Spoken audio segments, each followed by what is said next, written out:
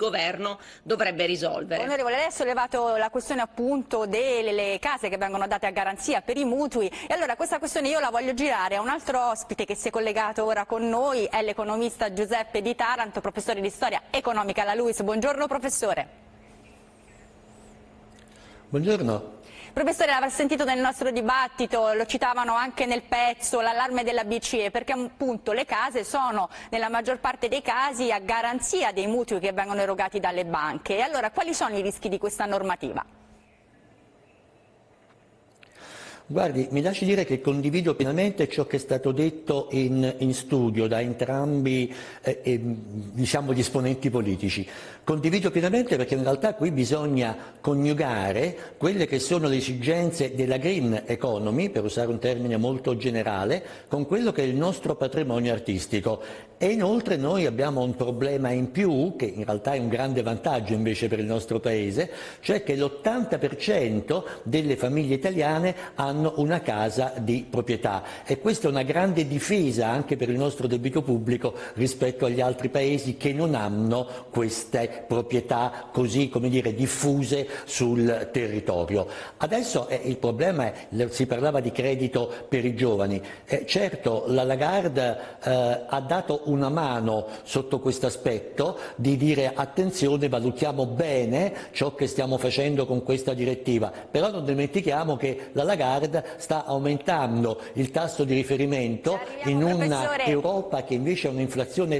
Professore, è la prossima... Va bene, va bene. Ci arriviamo, ci arriviamo, eh, perché appunto le voglio far vedere, lei ha già lanciato il tema, le voglio far vedere un pezzo proprio sul caro vita, sull'inflazione che sta colpendo tutta l'Europa, l'Italia in particolare.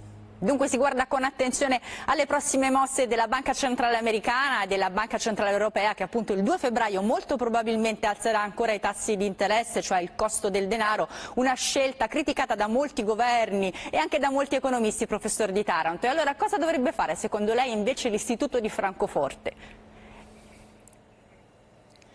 Guardi, bisogna soprattutto aiutare l'offerta, nel senso che noi abbiamo un aumento dei prezzi che è dovuto ad un aumento dei costi delle materie prime.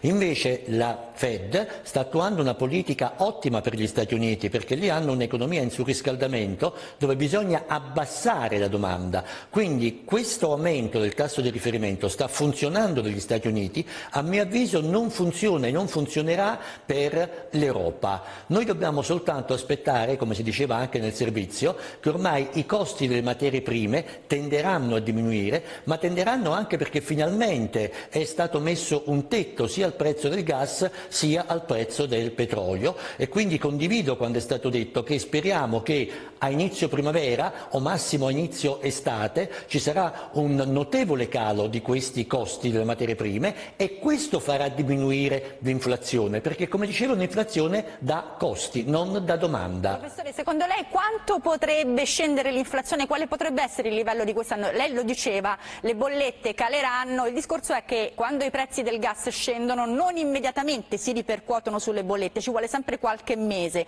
E allora quale potrebbe essere la stima dei prossimi mesi sul caro vita? Guardi, innanzitutto ha toccato un punto centrale perché l'Europa deve ancora disancorare il prezzo del gas dal prezzo dell'energia elettrica, quindi ora bisogna attuare questa, come dire,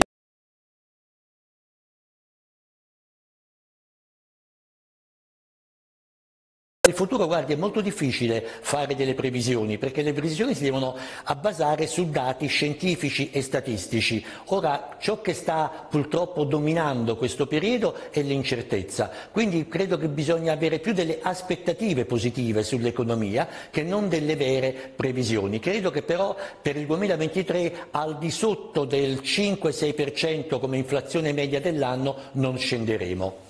Grazie professor Di Taranto per essere stato con noi. E allora, Grazie a lei. Buona giornata. E allora ritorno dai nostri ospiti. Stiamo